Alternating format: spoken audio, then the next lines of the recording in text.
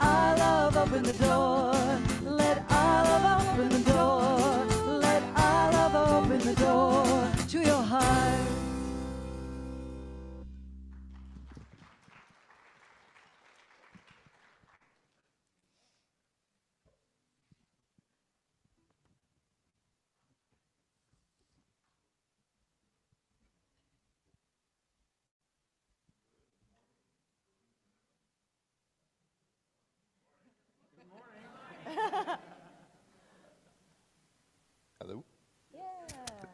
There we go. Good morning, Birmingham Unitarian Church. Good morning. It is good to be together again. Whether you're joining us on Zoom or here in the sanctuary or watching this recording later, it's good to be here with you.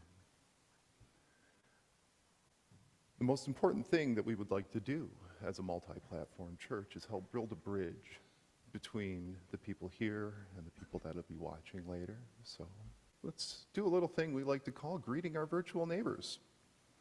First, we're going to bring up everybody on Zoom. Please turn on your cameras and uh, just give us a wave. Let us know you're out there. It's good to see you.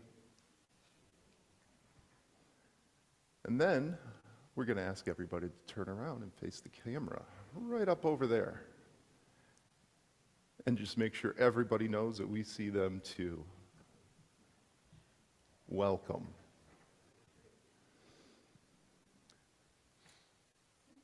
Whenever and however we connect with Birmingham Unitarian Church, we are building Birmingham Unitarian Church. At home, on campus, in the world, every day, we, we are Birmingham Unitarian Church. and we are building the beloved community.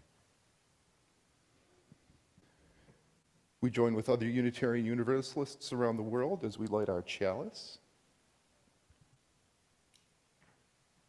This light we kindle is set in the lamp of our history. We inherit this free faith from the brave and gentle, fierce and outspoken hearts and minds that have come before us.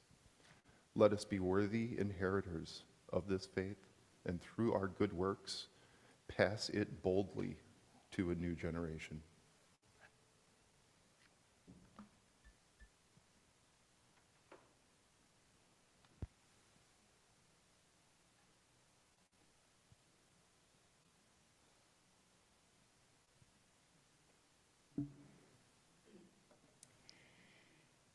As a covenantal faith tradition, our covenants are the way in which we practice our religion together, and they are aspirational descriptions of how we want to be in the world.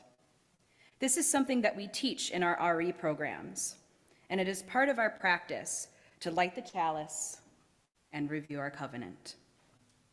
Please join me as we recite BUC's covenant all together this morning, affirming what we as a congregation agree to as members of this beloved community. As part of this beloved BUC community, I promise to strive to be my best self in all my interactions, assume the best intentions of everyone's actions, be mindful of our shared humanity in my communications, pause, reflect, and be part of the solution when things go awry. Thus, we do covenant with one another. And now, will you please rise in body or spirit and join in singing hymn number 368? Now, let us sing.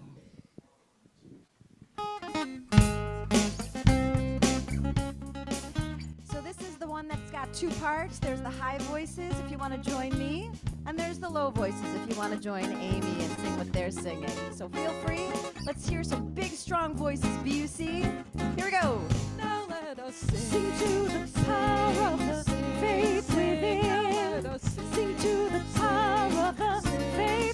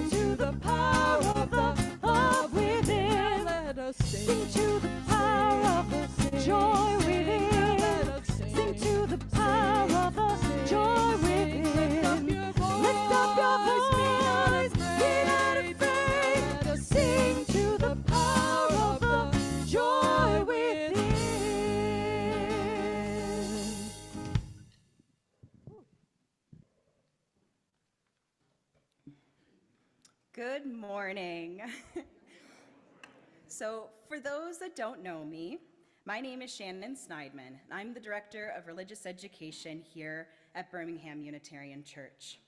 My pronouns are she and they. I am a short, not much taller than some of our youth, young adult, and I have long red hair, black square frame glasses, and I'm wearing a white sweater with blue stripes, I have a blue denim skirt on, black leggings, and tan boots. I'm standing on the ancestral, traditional, and contemporary lands of the Anishinaabe, which is the Three Fires Confederacy of Ojibwe, Odawa, and Potawatomi peoples. It's been a minute since I've been in the pulpit.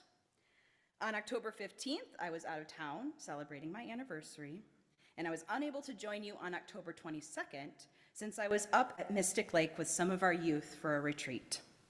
However, I did tune in to uh, virtually to the wonderful service led by Kiana Dene Perkins and Judy Amir while I was driving home.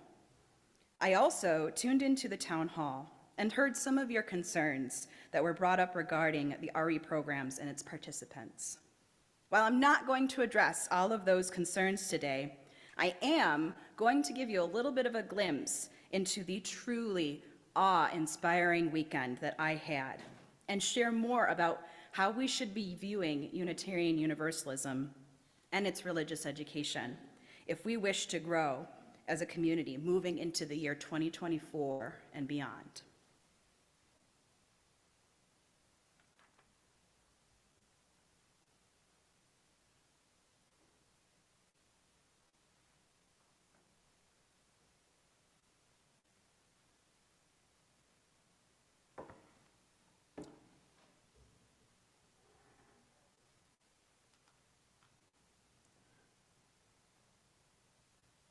The mission of Birmingham Unitarian Church is to be a free and welcoming religious community that encourages lives of integrity, service, and joy.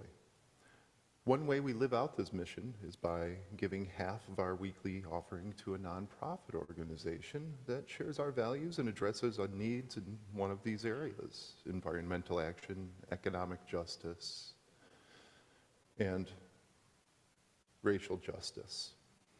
We support a new organization each month. This month, the recipient is actually BUC's Emerging Needs Fund. This is used to provide direct support to people experiencing financial difficulty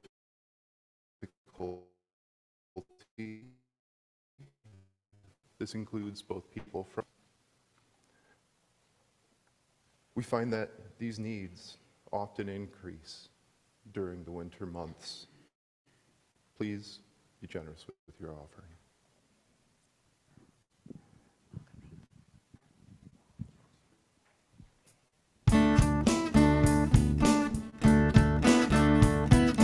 Think of your fellow man, lend him a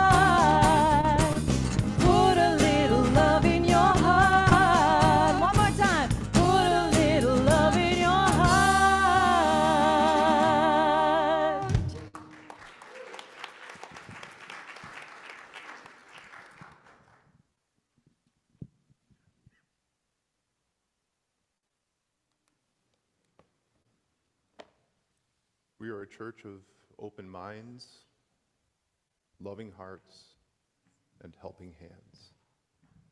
With gratitude, we dedicate this offering to the good works of our congregation and dedicate ourselves to it in its service. Thank you.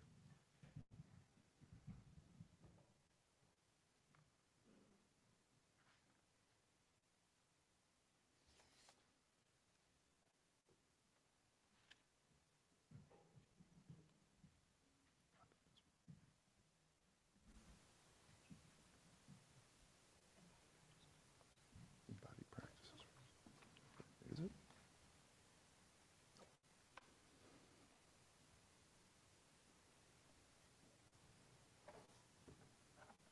Can you guess who the new guy is?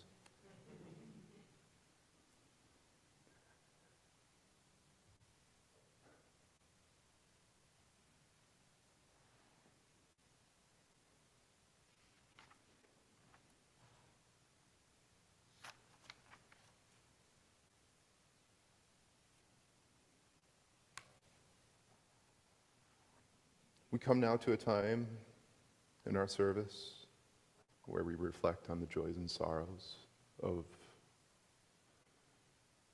those within the congregation and without.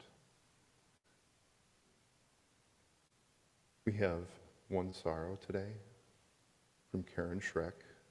Her brother, Ronald, died last week at the age of 84.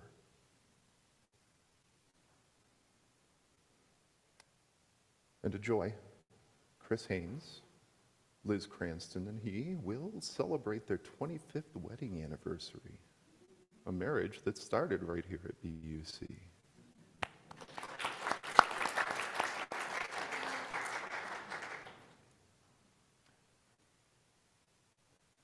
As always, there are the weights on our heart that cannot be le- that cannot be said. There's the joys that are the personal joys. We will now take a moment of silence.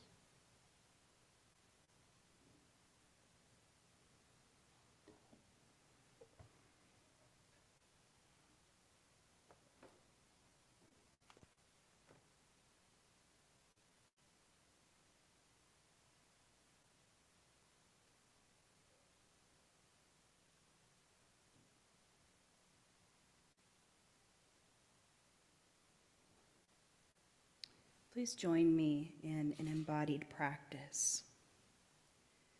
Please close your eyes or soften your gaze as you feel comfortable. Imagine a big balloon in your favorite color floating above your head.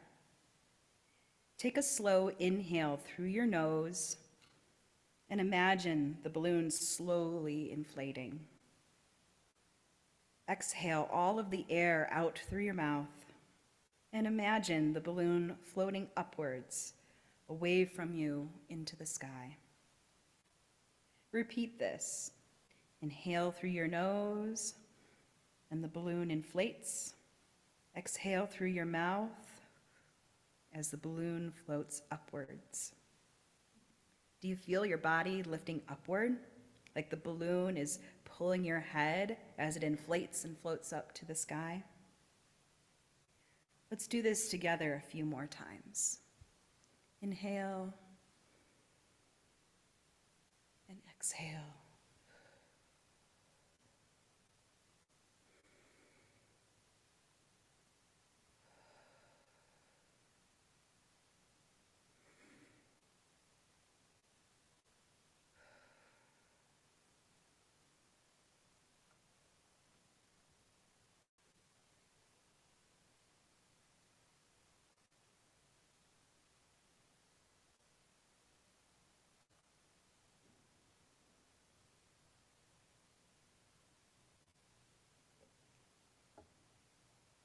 Prayer, the promise and the practice by Viola Abbott. Let us open our hearts, still our minds, and enter a time of prayer. Let us call forth and hold in our hearts the stories of all who have come before us, the memories of those who are with us today, and the hope for tomorrow and all those who will come after us. Let us be thankful for this opportunity while healing, forgiveness, and reconciliation, while knowing that we can never, should never, forget what has brought us here today. Let us be glad that voice has not only been given to those whose sorrow and pain were their companions in this faith, but that the stories told by those voices have been received with the goal of redemption and understanding. Let us call upon that light which shines in each of us to give us the strength to walk together into the future and do the work that is necessary and which does not end here today.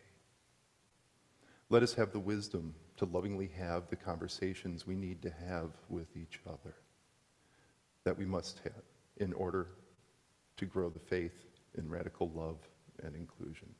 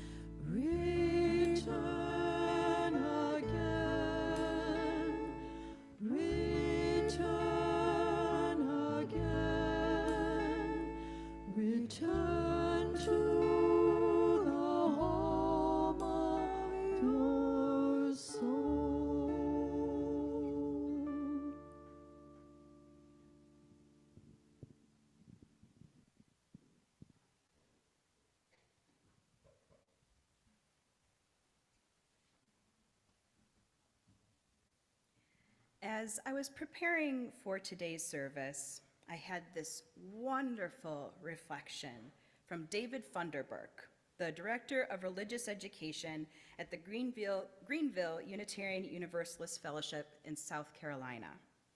And it was just sitting in my Google Drive. I decided to pull it out today because he beautifully captures the way that we should be thinking about religious education if we wish to grow Unitarian Universalism and if we want to build our beloved community here at BUC. Faith development is all we do. Unitarian Universalism is all we teach. The congregation is the curriculum. This is a quote by Connie Goodbread, another prominent UU religious educator and the acting director of the UUA's Hope for Us conflict engagement team. That last phrase, the congregation is the curriculum, made immediate sense to me. And if it doesn't make immediate sense to you, I hope I can share with you my understanding of the phrase. As an educator, I've come to understand that there is more to making a curriculum than simply choosing which content we want to teach and deciding on what lesson plans we want to use. Those lesson plans and the content within them are what we might call the explicit curriculum. But any teacher will tell you that students are, for better or worse, always learning much more than what's described in the lesson plan. Just through the experience of being in a learning community, students learn how to be in community with one another.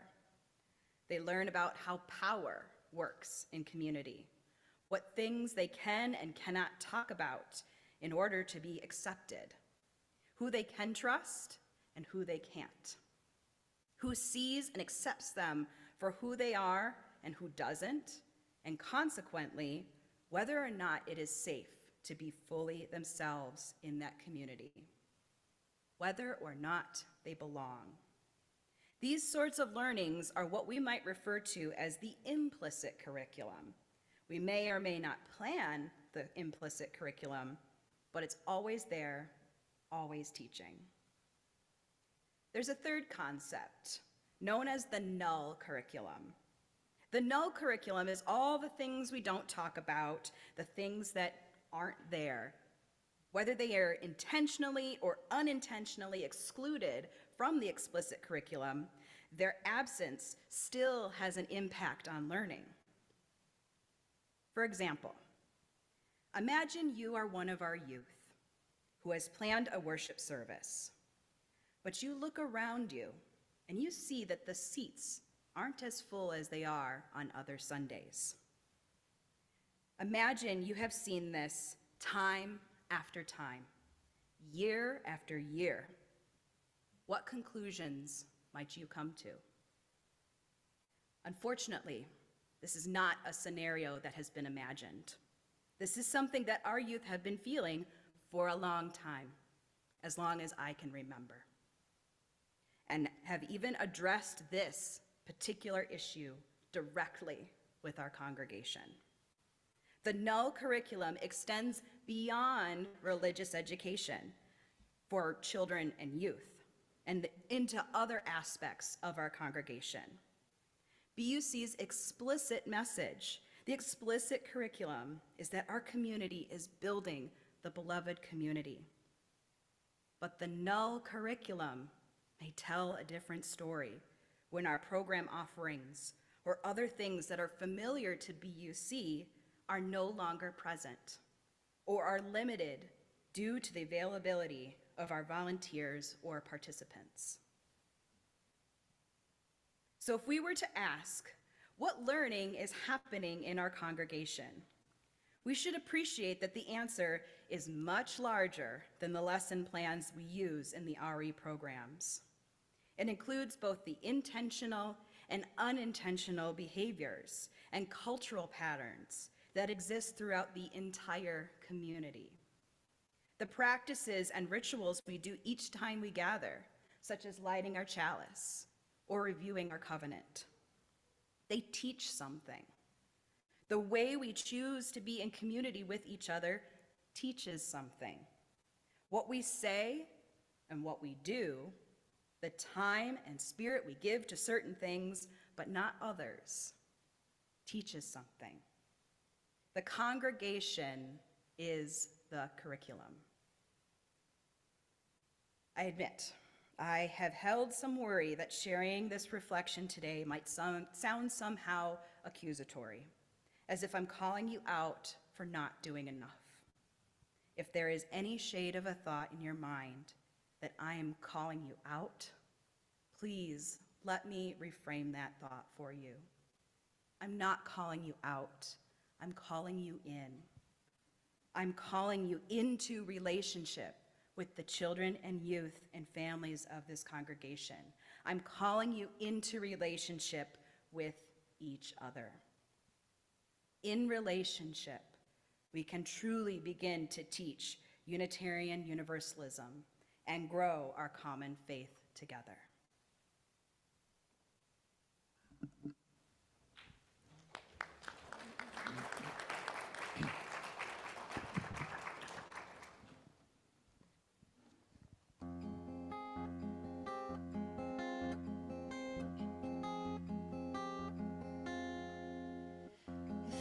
Tell the world just one thing, it'd be that we're all okay. And Not to worry, cause worry is wasteful and useless in times like these. I won't be made useless, won't be idle with despair. I will gather myself around my faith, for light does the darkness most fear hands are small, I know, but they're not yours. They are my own, but they're not yours. They are my own, and I'm never broken.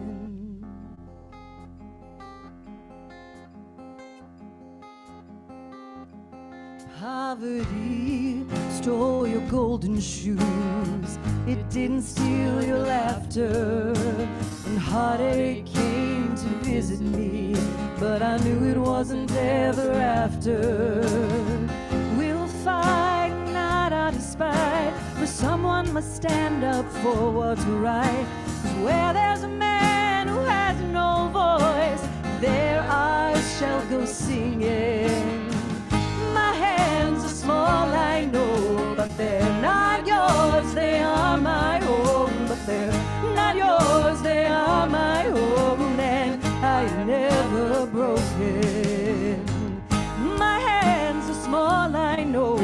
they're not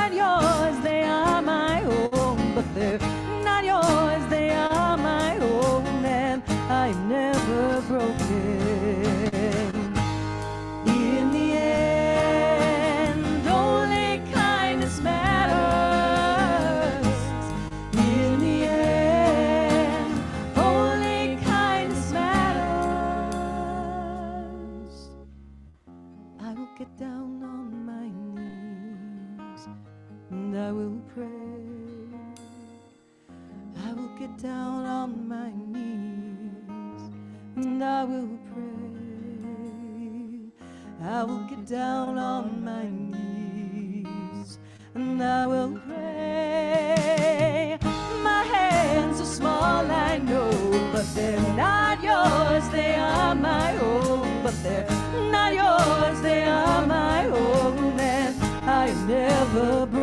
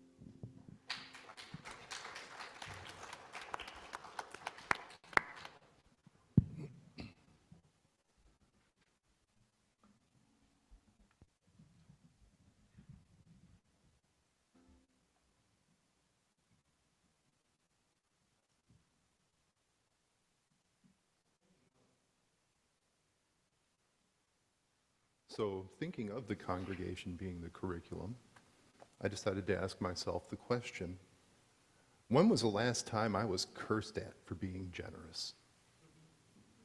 Seems to be something that you wouldn't think would happen, but uh, it happened to me actually just this past week.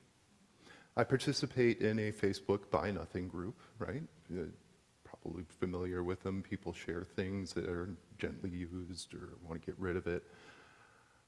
I had a load of e-waste and batteries that I had to buy a voucher for from the, from the city and said, hey, everybody on the list, give me your e-waste. Just, I'll park my truck right at the end of the drive, I'll leave the bed open, just toss it right in there. I got a pretty good load. I, I got five or six people to come by. I, I got at least one set of lunch plans out of it, so good win for me. But as I was riding that high, I actually had other business in Royal Oak that day. Uh, it turned out the day before I had to take a loved one to the hospital, to Royal Oak Beaumont, where he was admitted for two days. Everything's good now. It was pretty scary couple days. Look out for those uh, drug interactions and withdrawal issues. I'll talk about that later.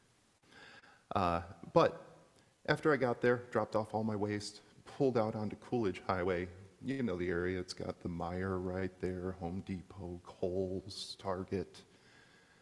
Uh, The the person in front of me had a pickup, had about six pieces of plywood in the back, and they weren't secured, they weren't tied down. So when he took off, he left about four of them there.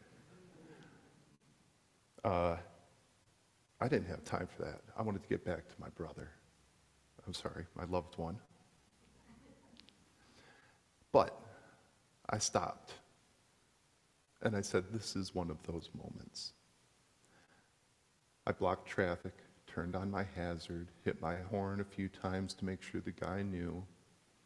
I only had uh, two people drive by, one of them honking furiously, the other one cursing as they drove over the plywood. But then something else happened. Guy behind me, two guys behind me, turned on their hazards. And then one of them got out, started waving traffic the other way around. Uh, I may look big, but I don't have a muscle behind me and at all, at all these days. So I couldn't help lift and load the plywood in. One of them kindly went up and did that. I grabbed some rope from the back of my truck. And, you know, we got it all settled out and tied down. It lasted maybe a cycle of one light, right? Red, green, red. And from the amount of honking I heard to the amount of thumbs ups or, oh my gosh, or I'm sorry, of the people that were previously cursing at me, that really caught me. The people who were so far in the moment of their own troubles, their own what they need, they didn't notice that there was someone else that was hurting. How many times have you found yourself in one of those situations where you just had to stop? Had to be the person to cause a little bit of disruption, to show some people that it's a different way and that's easier to help than to get angry.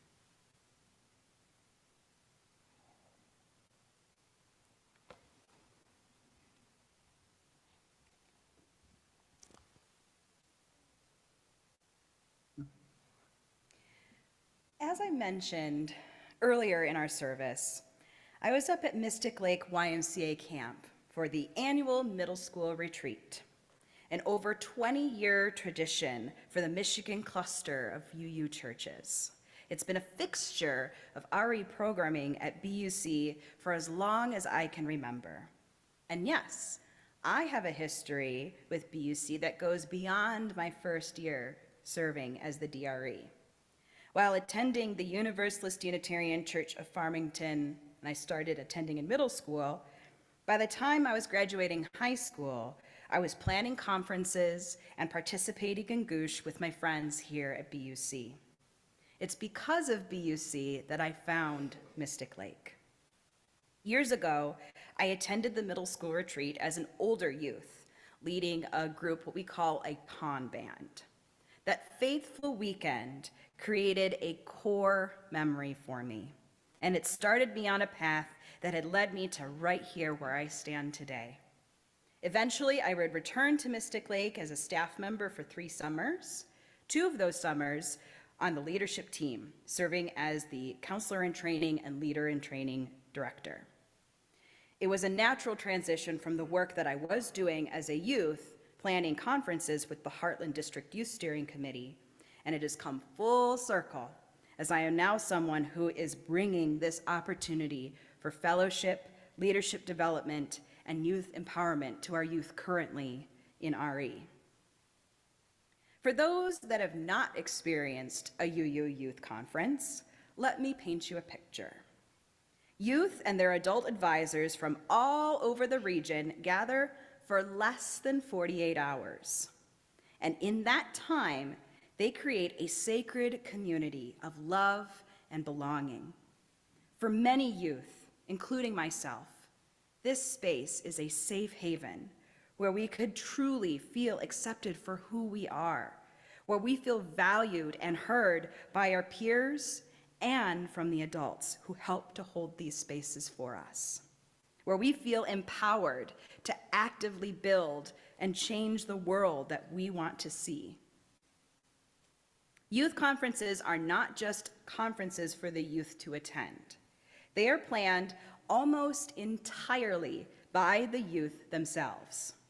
From the logistics of sanctioning an event and budgeting for expenses, to handling registration, workshop planning, even meal prep.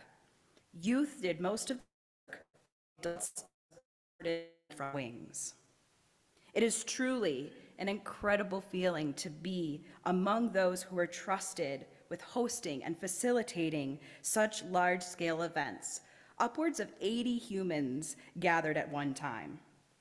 Not to mention all of the hard skills that we had developed that still serve us to this day. Building these skills as high school students gave us the tools and opened up the opportunities for us to excel in our chosen fields after we had bridged out of our youth programs. Another important component to a UU Youth Conference is the Saturday night worship service. Let me reiterate that this is something that is also planned entirely by the youth and delivered by the youth to the youth and adult participants. I've witnessed many youth led worships in my time, and they are truly the most profound experiences.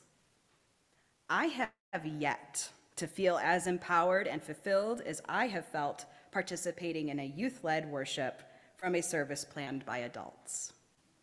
That's a bold statement, I know. So let me tell you about the worship that was planned for Saturday night at Mystic Lake, and hopefully you'll understand why. During our free time before, all voluntarily gathered to plan the worship. Coincidentally, two of them returned to Mystic Lake after helping to plan and lead last year's worship.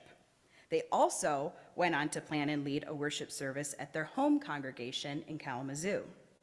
Myself and their DRE helped guide them through what they wanted to theme the worship service around. They decided they wanted to center this service on inclusion and how we had modeled what an inclusive community looks like over the course of 12 hours. In a matter of minutes, they had created a skit using the buddy bench as an example of how we can all work to be more inclusive and how damaging exclusionary practices can be. They recognize that there is a lot of strife in our world, citing the violence in Ukraine and in Gaza and the West Bank, as well as the discrimination and prejudice that persists for marginalized groups. But their message was that love is like a buddy bench, and we need to make room in our hearts to share our love with everyone. Now, I want you to guess the hymn that they picked for their worship. I'll give you a hint. It's one that we've heard recently. In fact, it was sung as the prelude on Sunday, October 22nd, here at BUC. What are the chances that they had picked There is More Love Somewhere and that BUC would also be singing this song the very next morning. It was certainly a surprise to me, since it was a little different from the original order of service that we had talked about. Um, but I wasn't there, so, you know, things, things change and things have to adapt, right?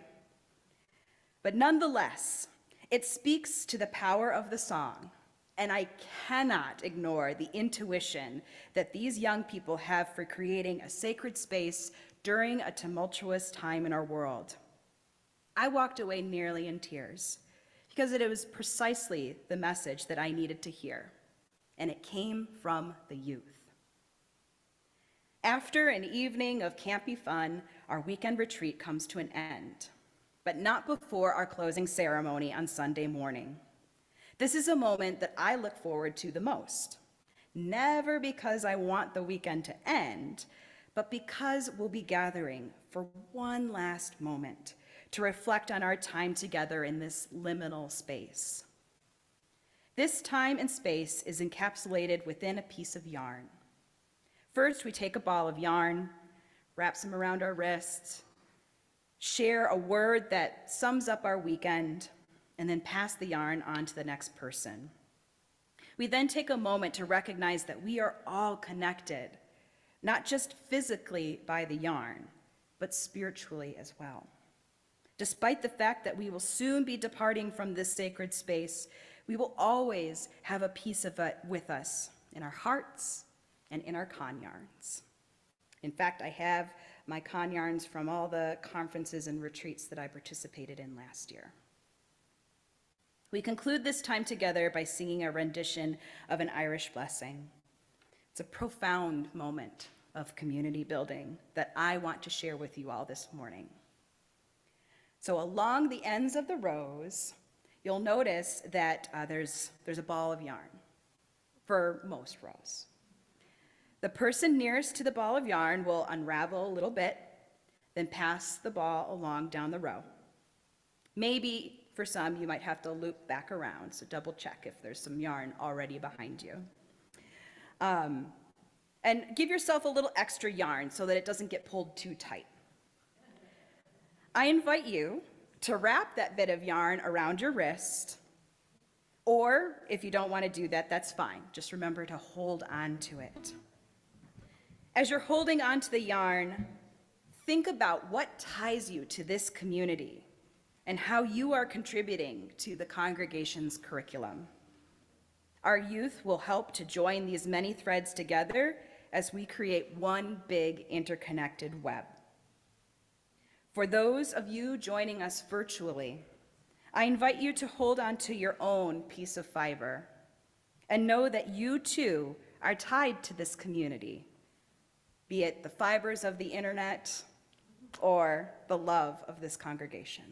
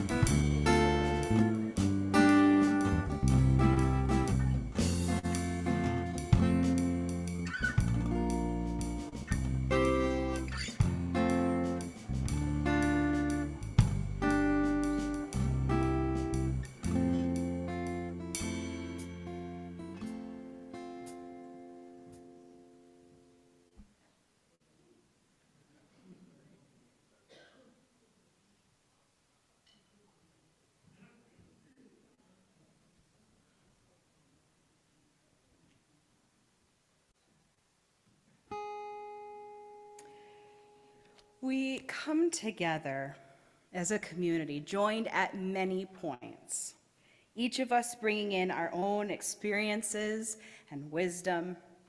We recognize the wisdom of those that came before us and those that are leading us into the future. We are guided by each other, and every moment that we are gathered together is a teachable moment.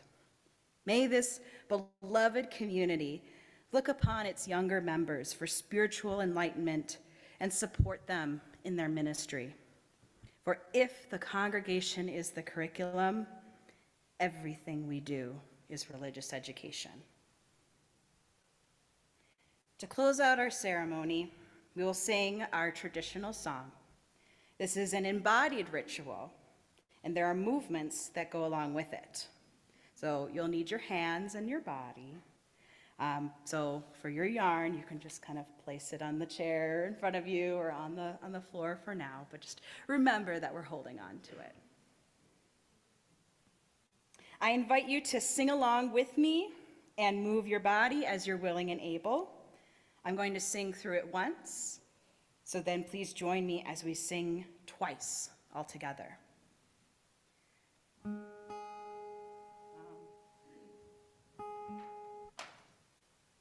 Meant to do this during the, uh, the passing of the yarn so that you can see me and also hear me. So pardon my technical. All right, there we go.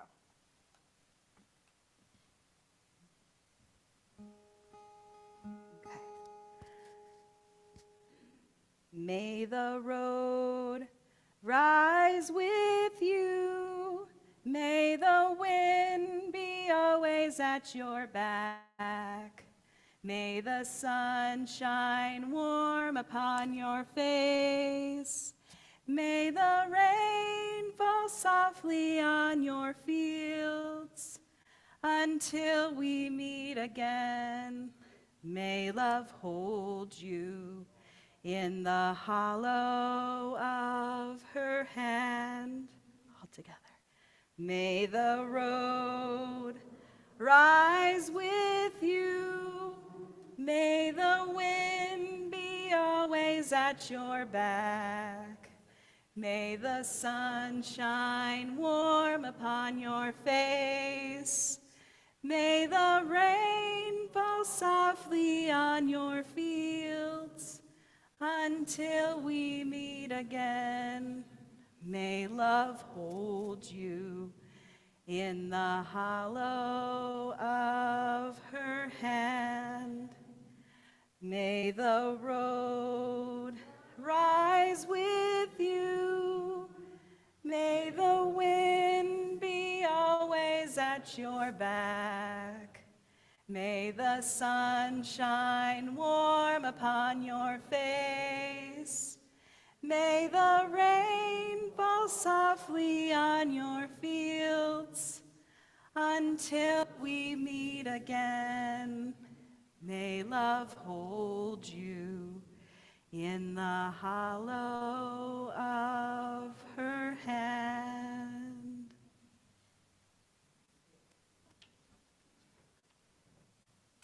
At the end of this service, I invite you to take a piece of yarn with you. There are scissors floating around. And hold on to it as a reminder that you are part of this beloved community. Wear it upon your wrist or place it on your altar. With the remaining threads, I think I'm going to try to weave them into a tapestry. I have no idea when I'm going to complete it, but I'm thinking about using it to do some soul work, which is something that I hope to talk with you more about another time.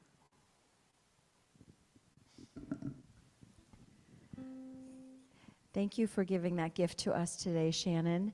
And if you would all now rise in body and spirit and continue that spirit of generosity, number 402 is our last hymn this morning From You I Receive.